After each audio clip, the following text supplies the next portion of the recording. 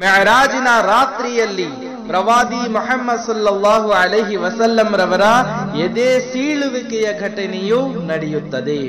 ಪ್ರಿಯ ಸಹೋದರರೇ, ಮೆಹರಾಜಿನ ರಾತ್ರಿಯಲ್ಲಿ ಬುರ್ರಾಹ್ ತೆಗೆದುಕೊಂಡು ಹಜರತ್ ಜಿಬ್ರೀಲೆ ಅಮೀರ್ ಅವರು ಬರುತ್ತಾರೆ. ಪ್ರವಾದಿ ಮೊಹಮ್ಮದ್ ಸಲ್ಲಾಹು ಅಲಹಿ ವಸಲ್ಲಂ ರವರು ವಿಶ್ರಾಂತಿ ಪಡೆಯುತ್ತಿದ್ದರು. ಮೂರು ಮಲಕಗಳು ಬರುತ್ತಾರೆ.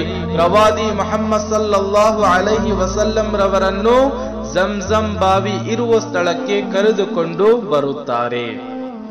ಅದಾದ ನಂತರ ಮೂವರಲ್ಲಿ ಒಬ್ಬ ದೇವದೂತರಾದ ಜಿಬಿರೀಲ್ ರವರು ಉಭಯ ಲೋಕಗಳ ಸರದಾರರಾದ ಪ್ರವಾದಿ ಮೊಹಮ್ಮದ್ ಸಲ್ಲಾಹು ಅಲಹಿ ವಸಲ್ಲಂ ರವರ ಕಂಠದಿಂದ, ಗಂಟಲಿನ ಭಾಗದಿಂದ ಎದೆಯವರೆಗೂ ದೇಹವನ್ನು ಸೀಳುತ್ತಾರೆ.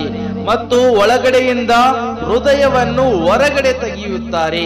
ಆ ಹೃದಯವನ್ನು ಜಮ್ ಜಮ್ ನೀರಿನಿಂದ ಉಸುಲ್ ಕೊಡುತ್ತಾರೆ, ತೊಳೆಯುತ್ತಾರೆ.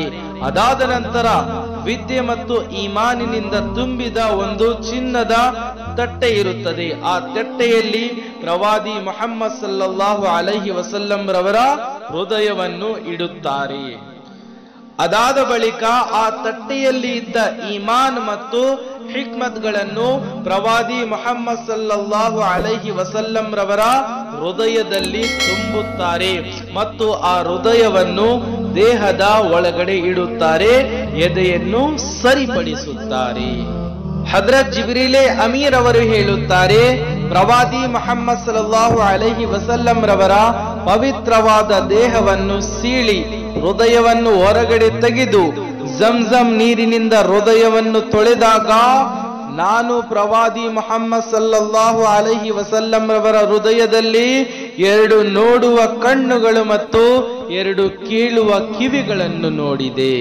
ಸುಬಹಾನಲ್ಲಾ ಸುಬಹಾನಲ್ಲಾ